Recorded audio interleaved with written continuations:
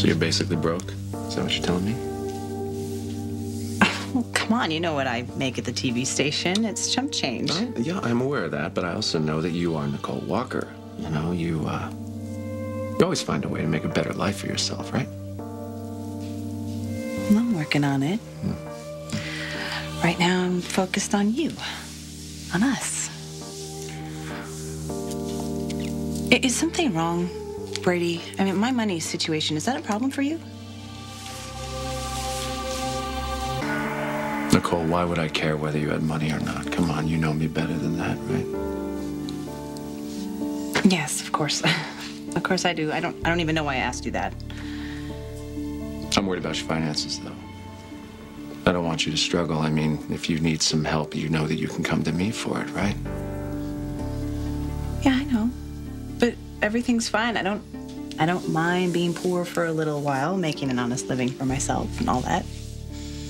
Honest living. Mm-hmm. Well, then that's settled.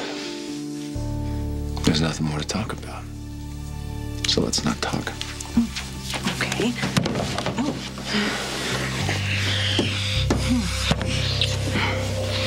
Oh, Brady, you are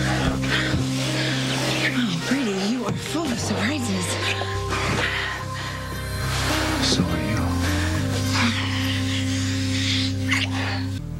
Something about him looks familiar.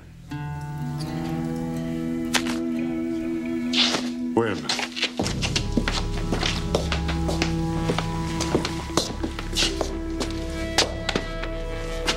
It is you.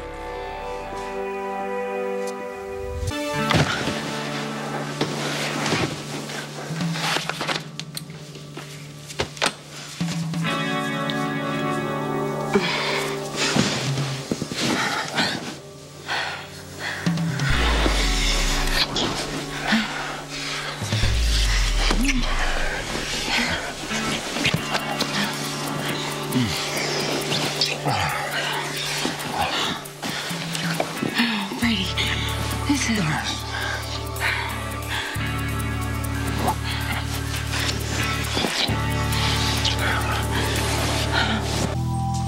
Don't know what you're talking about, all right? I didn't set fire to anybody's house. But you tried. No!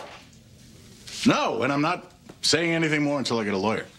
All right, fine. Officer, make sure this lowlife stays put. I'm going to run his name through the system, see if he has any priors. Wait a minute. I'm just about to post bail. No. No, you're not. Let me ask you something. Where have I seen your face before?